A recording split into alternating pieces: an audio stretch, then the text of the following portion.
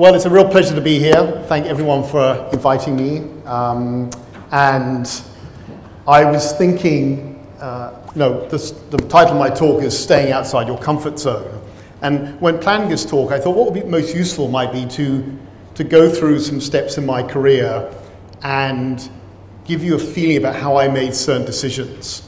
Because recently I wrote a piece for a magazine on advising young scientists.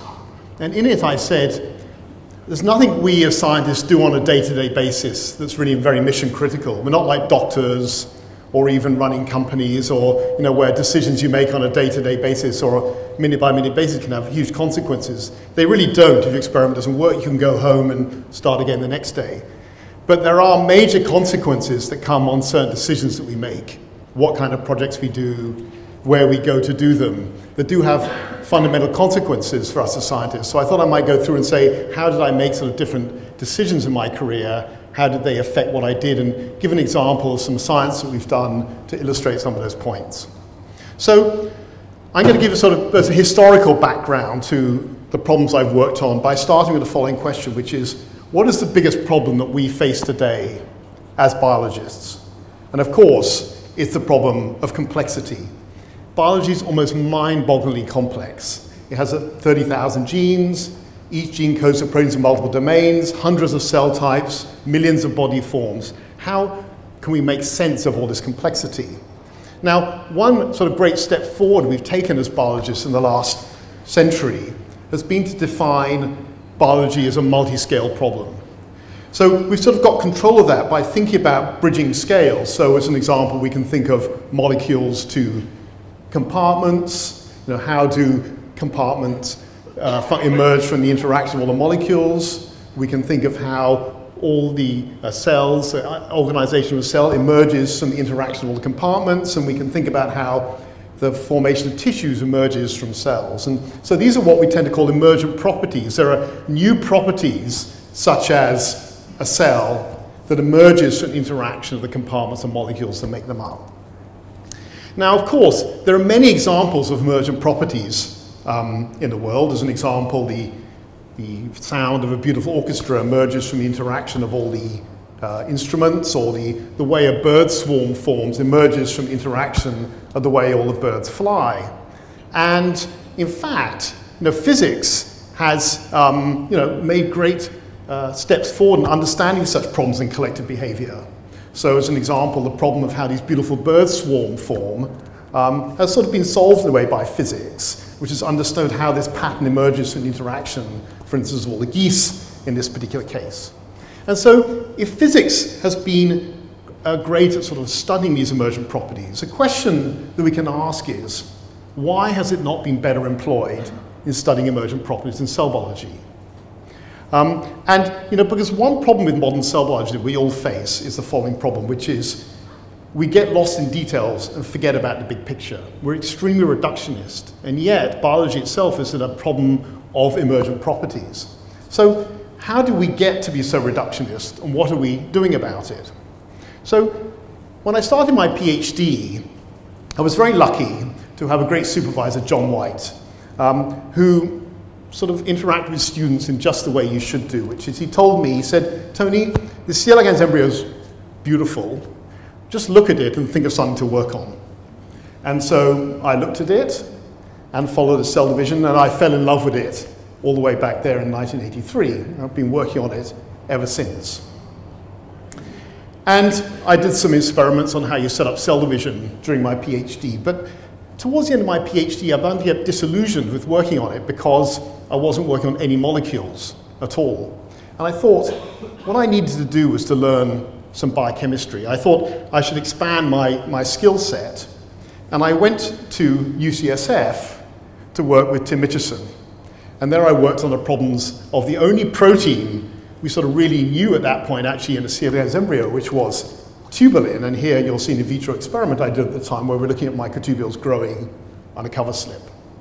So I also did quite a lot of work then on microtubules as, as, as a postdoc in Tim's lab before starting my own group in Heidelberg. And I went to Heidelberg because um, I wanted to work at the time actually with Eric Karsenti, who was working on aspects of you know, how Xenopus extracts control microdynamics.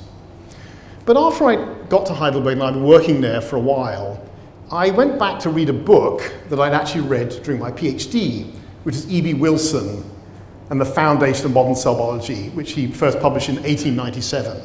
Now, my father was a historian, and one of the best things he sort of ever imparted to me was this concept that you need to look at what you do in, in the context of the arc of your field. Right? Everything we do takes so long. You've got to think about historically where is what you do fit in the overall arc of the problem. And of course, many of you know E.B. Wilson. He was the one who basically wrote down all the sort of observations of early cell biology at the beginning of the 20th century that were very useful for later, coming on later on and following up on these problems. And even then, biologists were interested in how cells organize themselves. But the problem they had is they didn't know enough about the nature of molecules to constrain the theory.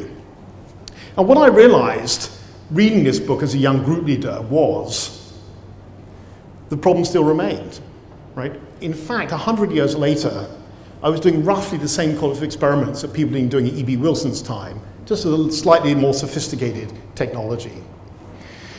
Now, at the time that E.B. Wilson had been developing the sort of cell biology, um, there was sort of another strain that had been developing, which is T.H. Morgan, the development of genetics. You know, much as Darwin's insights into evolution of animal species first gave coherence to 19th century biology, Morgan's findings transformed biology into an experimental science. And that became a sort of alternative path. Amazingly enough, sort of genetics and cell biology pursued parallel paths over almost a century. And the geneticists actually coming really of the work of enzymology, the field of enzymology, started in the 60s to identify and characterize individual molecules. If you remember, I said that the time of E.B. Wilson, there weren't enough molecules to constrain the theory. They didn't know what the molecular species were. So they settled down to develop a sort of reductionist chemical viewpoint of biology. Now, it's, for you in this room, it's sort of probably hard to believe that they were so separate, but I remember very clearly David Botstein coming to give a talk when I was at UCSF, Ron was there at the time, and saying that microtubules must be important for spindles because he made a deletion in tubulin and he didn't make spindles. And Mark Kirschner was furious. You know, and, and that was, and they were called pinheads and fuzz brains, right? The cell biology sort of fuzz brains and the geneticists sort of pinheads. And there were two different tribes of, of scientists at the time. And I was very much on the fuzz brain side of it, which was the cell biologist. But after I'd started my group, three things happened that allowed a sort of real breakthrough in high throughput genetics, which was the discovery of GFP, the discovery of RNAi, and the sequencing of the C. elegans genome. And that point I realized I could make a, a change. I could actually get involved in high throughput genetics and try to make the catalog of genes required for the C. elegans embryo. Now, the way I made that decision was, uh, you know, I thought somewhat about it, but Tim Mitchison came to visit me, and I went out for a long walk with him. I was in Heidelberg at the time, and I discussed those ideas. And we sort of agreed together that probably was the best thing to do. So then I came into my lab basically the next day, and I told everyone I wanted to shift the whole lab over to doing high throughput RNAi screening. And of course, a lot of people in the lab were rather surprised because they hadn't come to my lab to work on RNAi screening. They'd come to work on microtubule dynamics.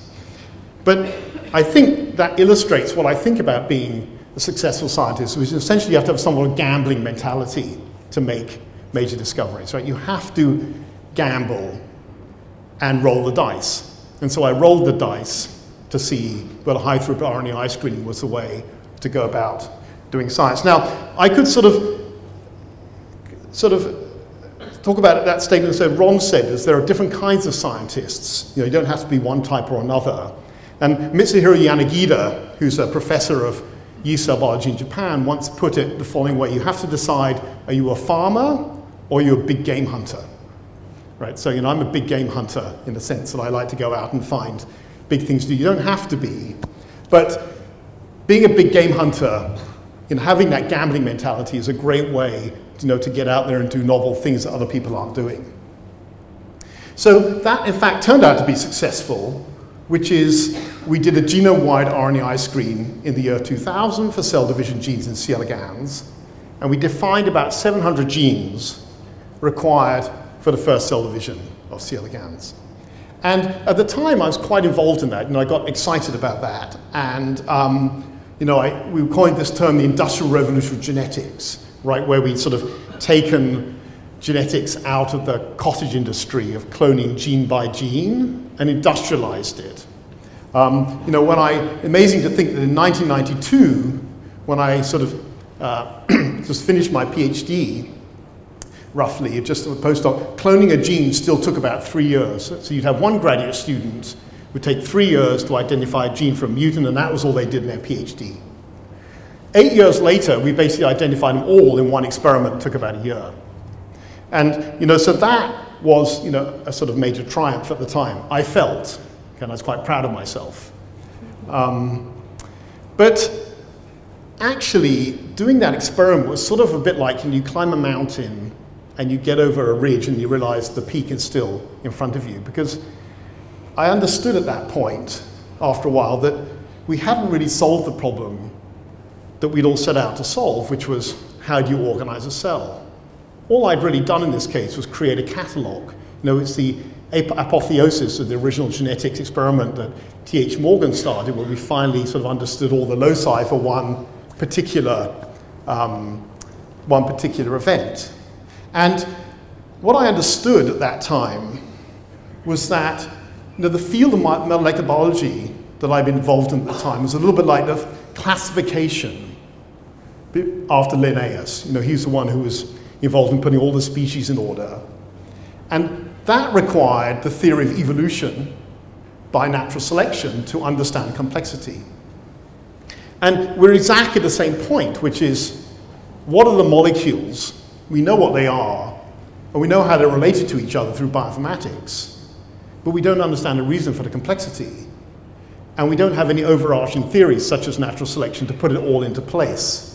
And we needed to move beyond classification. And sort of what I understood at that time, and it's been made ever since then, I've really helped me to think about how to be a scientist, is that as scientists, we tend to be a little bit like multi-generational space voyages, where the mission gets forgotten like WALL-E, right? If you saw that movie, you know, WALL-E comes back to Earth, but the mission of repopulating Earth has been forgotten. And so you know, we settled down to characterize all the genes and their chemistry because we didn't know how a cell was constructed. But having the catalog, we sort of forgotten the point was the emergent properties of how they all put together to form, um, to form a, a sort of structure. And so, you know, really in a way, I thought we need to get back on mission, which is now to take these catalogs and understand how the complexity of cells and tissues emerges from all these different molecules. Now, at that point in my life, I was a group leader at EMBL. Like many of you are, I had a, a non-tenured position and I had to move on. And the EMBL system is set up to move on after nine years. And Kai Simons um, played a very important part in my life, came into my office. Now, Kai's a very clever psychologist, and he told me, Tony, you know, we're going to go and set up an institute in Dresden, the middle of East Germany, after the wall had come down. Now, if he said, do you want to come too, I probably would have said no, because I'm British, I wanted to go back to Cambridge. But he didn't say that. He said, we thought you probably wouldn't want to come with us. So I'm like, well, you know, you know, one never wants to turn down opportunities, and I was trapped. And so, and, and Kaido was a, was a great, um, is, is a great guy to work for over the years because, you know, he represents a sort of exactly the spirit of this meeting, which is commitment to young scientists. First at EMBL, where he you know, fun, got the whole group leader program started in many ways, and now, and then in Dresden, where we set up this young investigator program. At our institute, we decided at the time to not have departments. So some of you know the Max Planck Society, tend, they tend to have very large departments with 30, 40, 50 people. And Kai told us uh, no departments. Um, and you know, there was quite a lot of uh, amusing aspects of that because, of course, Marino Zerial, especially myself, we were all very young at the time, sort of in our late 30s, and and we'd seen other Max Planck directors, you know, had cars and drivers, you know, so we thought we'd also get a car and a driver. And so we said to Kai, where do we get the car and the driver? And he says, Tony, this, this is the new Max Planck, you know, the socialist Max Planck. There's been no drivers, no things. And, and I, I'd been to visit Janni Nüsslein-Volhard, and she had her own bathroom and shower and toilet. And I thought, wow, that's what a Max Planck's going to be like. And Kai's like, no, no, no, no. so anyway, so we end up doing it a different way. And I, I, really learned a huge amount from Kai about what it takes to run a place. And this gets a little bit back to Vijay's point, which is, you know, Dresden, I don't know how to compare it in India, but it really was really way out of the way. It was ex-communist East Germany. It wasn't the sort of place you tended to go to as a um, scientist. But there's two things I learned from that. First, the power of doing things together. Right? We didn't do it on our own. It was five of us went out to Dresden together to run this place. And Kai was our eminence grise, but we all worked together as a team. So do it together. Do it in teams, right? It's too hard, this business, to do it on your own. You know, build a set of people that you're keen on doing things with and do it uh, together. The second thing Kai taught me is to have a healthy disrespect for bureaucracy. Um, so when he started in Dresden, you know, there was a lot of things that were quite uh, bureaucratic in Germany at the time. As an example, there were only five-year group positions. That was maximum. And Kai thought that wasn't enough. We needed to be nine years, which was supposedly illegal in Germany at the time.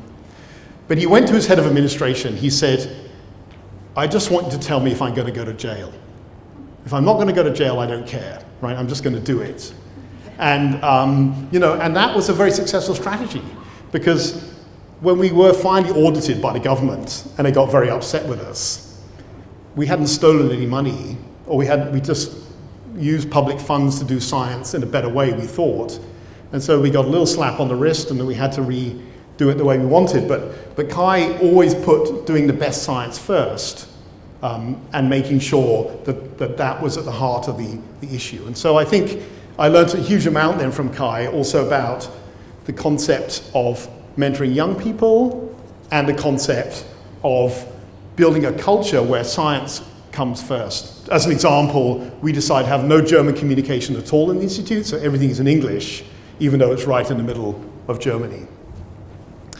Now, coming back to the problem I talked about before, I was kind of lucky because when I got to Dresden, we managed to recruit two outstanding physicists, mathematicians, Joe Howard and Frank Jülicher. And I started to learn a lot about physics from them and how it could contribute to the problem I was talking about, which is emergent properties. Because what I understood from them was that you can use physics to make sense of this massive complexity in biology. One thing, textbook knowledge requires synthesis, not catalogs. Now, this is a very important point we all would like our work to be in the textbooks, say molecular biology of the cell. But as I always say to my lab, how are we going to write down for the textbooks how a mitotic spindle is assembled? No one's interested in it being assembled in yeast this way, and Drosophila this way, and C. elegans this way. That's not, that's not a description that's useful for a textbook. The textbook has to, you have to pull out the essential aspects of spindle assembly across all species so you can describe it and you can see the reason for that when you go to high schools, they're still learning the, the biology that I learned in, in high school because we haven't got that synthetic viewpoint of spindle assembly, which is necessary to talk about. So that's one of the challenges. I also learned from them that biology is just a complex form of matter. So we can use physical approaches to matter to think about it. And I also understood that modern biology in the future is going to require a merger between biology and physics in the same way that molecular biology was a merger of biology and chemistry. Now, there was a problem though, which is the following. In high school, I got very poor marks in chemistry, physics, and maths. And um, in fact, they were so poor that I couldn't go to university. Um, and I was lucky because I then decided to work as a technician for a while because I decided, well, I didn't have any ambitions to be a scientist. I wanted to build a bike shop, but I needed some money to get the bike shop started.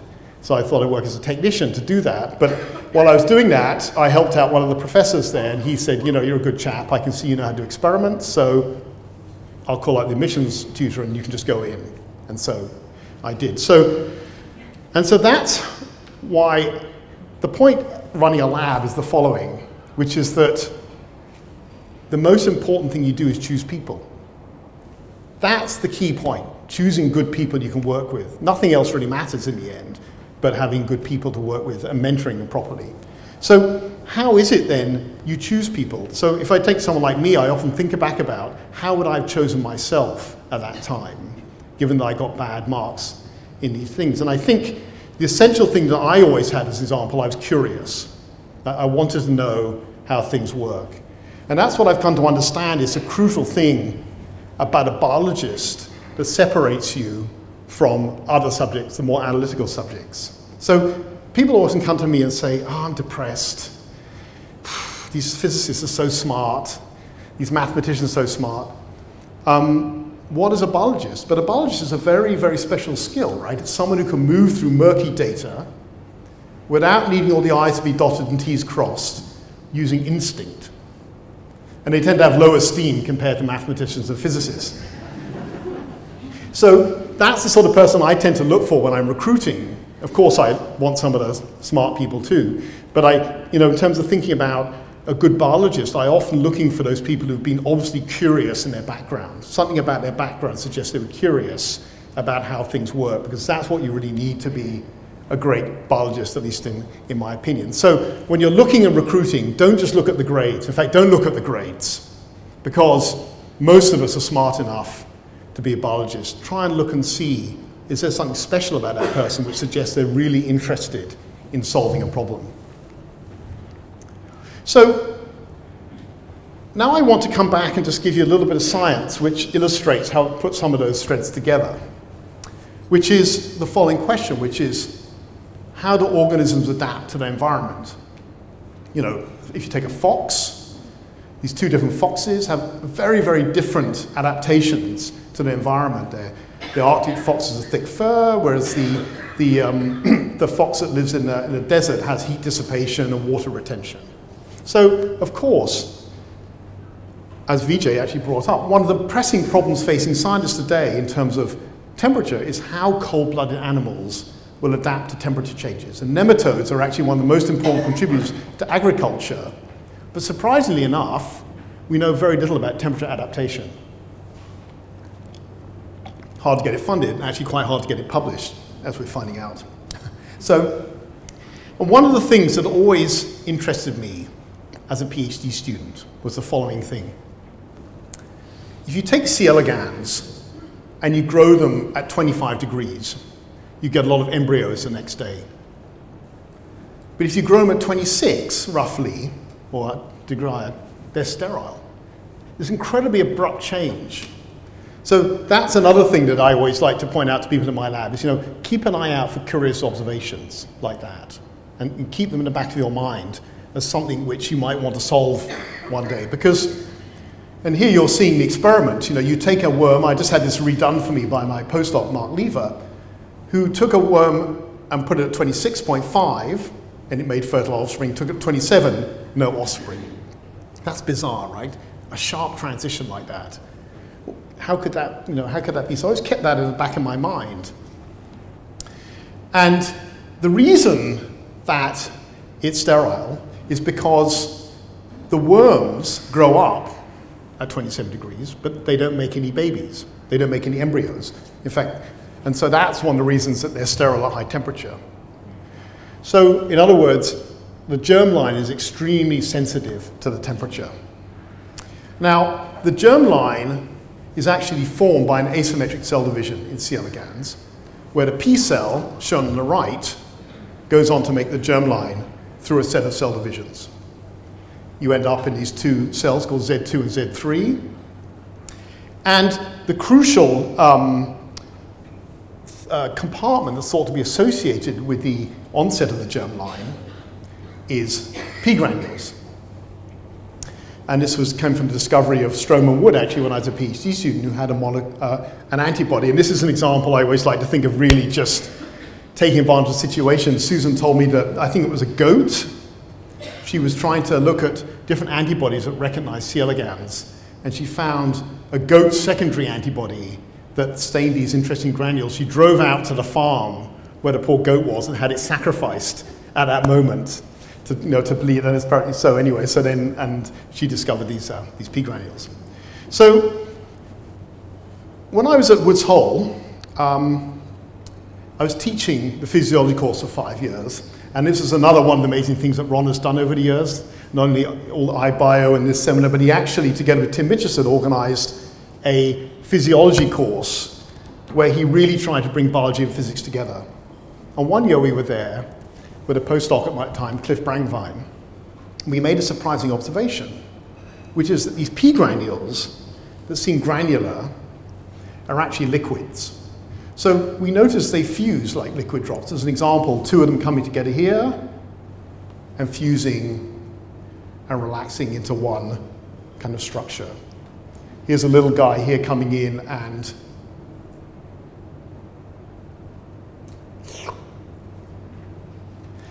and we realize they turn over very fast when you photobleach them. So here they, you photobleach it and they recover within a few seconds. And more impressively, when we dissected the gonads out of the worm, they would drip like sort of honey off your spoon in the morning. So all of those features made us realize that P granules were liquids. They were spheres, they wetted on surfaces, and they fused into larger drops. So this is where sort of physics began to become important because how does the concept of liquids help us think about p-granule segregation? It's the sort of question we asked at the time. Now, liquids have sort of two properties. If you put two liquids together, they'll tend to mix, you know, such as coffee and tea, right? That disgusting mixture you can make in the morning if you're a bit tired. Um, and of course they mix because of diffusion, which tends to equalize the concentration of molecules.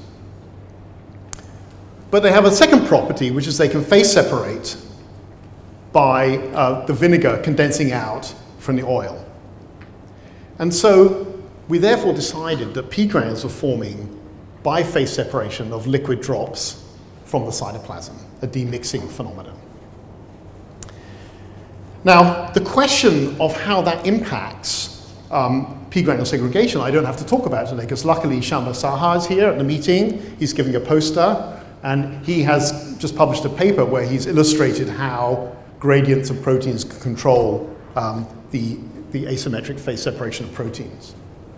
Rather, I wanted to come back to the problem and think, I'd always had this in the back of my mind, you remember, why was it that these embryos were so supersensitive to temperature that you raise it by one degree and suddenly these worms are not making embryos? But once we discovered this phase transition phenomenon, something clicked into place. Because the key thing about phase transitions, they're super sensitive to conditions. And one of the things they're super sensitive to is temperature. Now, temperature is a variable that's normally used by physicists. It's not something we think about as biologists. But I began to think, is there a relationship between phase separation and this aspect of what temperature can live at? Now, here's an oil droplet experiment. I'll show that again a bit quickly. 330 degrees C, we raise the temperature to 335 degrees C, and they're all gone. So these, these phase separations are extremely temperature sensitive. So we thought, well, is that true for P granules? Now, Shamba, one of the key things he'd done was to reconstitute P granule assembly from a single protein, shown here. So this is one protein labeled GFP, forming a liquid drop. So now what he could do is he could look and see, is that drop sensitive to temperature? And here's the experiment.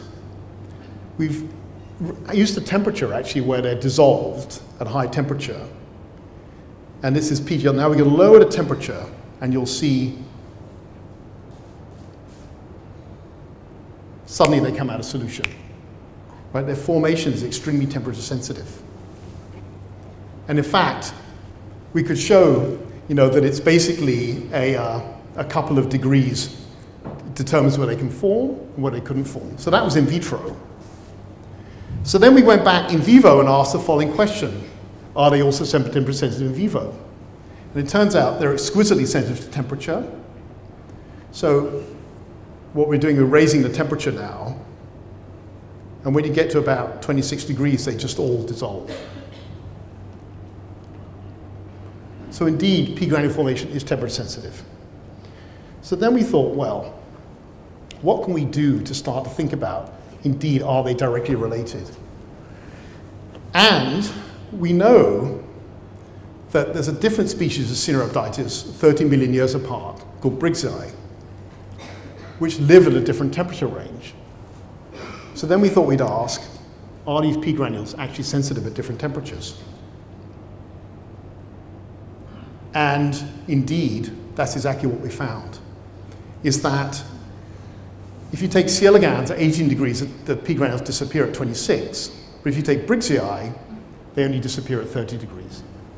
And we've actually done more experiments now to show that you can directly relate the temperature dependence of P granule formation to the fertility of the worm. In other words, you can actually relate this global phenomenon of phase separation, emergent property, all the way up to the potential ecology of the worm. And the point I just want to make here is that these emergent properties, such as phase separation, they're real phenomena, just as real as temperature and pressure. Um, you know, we think of the, the movement of molecules, but they can actually generate pressure. And in the same way we think about the interaction of all the molecules inside, say, a P granule, um, generate this phenomenon of phase separation that you can actually study independently. So what I tried to illustrate with that sort of description of the science was how you can really, by all the different threads of my career came together to study that, right? First of all, I thought about the problem as a biologist of this problem of temperature. As a postdoc, you know, I'd learned about how proteins work, so I had a strong biochemical skills that allowed me to look at that. And then slowly I moved into physics over the years so that I was able to, able to understand the phenomena I was looking at. So if I conclude then about you know, what I think it takes to be a successful scientist, I think really there are sort of two things that are important. First, you have to step outside your comfort zone. And this is really probably the most important point I want to get across today, which is it's all too easy with the pressure of grants and teaching to stay in your comfort zone.